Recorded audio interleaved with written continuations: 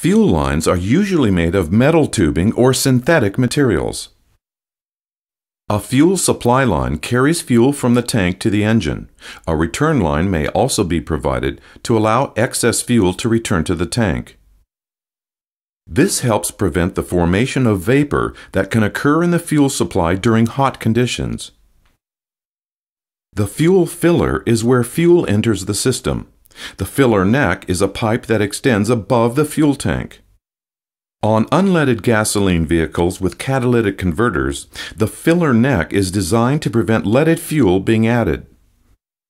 Its diameter is smaller than those on leaded vehicles, and a trapdoor inside the filler can only be opened by the nozzle of the unleaded fuel spout.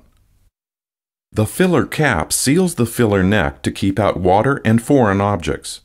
Water can corrode internal passages of fuel pumps and carburetors. The cap on the fuel tank also stops fuel vapor escaping and polluting the atmosphere. This is important for gasoline, which is very volatile and vaporizes easily, especially in warmer climates. Some fuel caps have a low pressure valve built in. It keeps a balance between the pressure in the tank and the outside atmospheric pressure. As fuel in the tank is used, the airspace above the fuel increases. This causes a fall in pressure compared to outside atmospheric pressure. The valve then opens and lets more air into the tank. A fall in temperature can cause a fall in the pressure in the tank.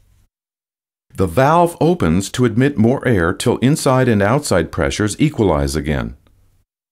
The fuel gauge shows how much fuel is still in the tank. It has a gauge unit on the dash and a sender unit in the tank.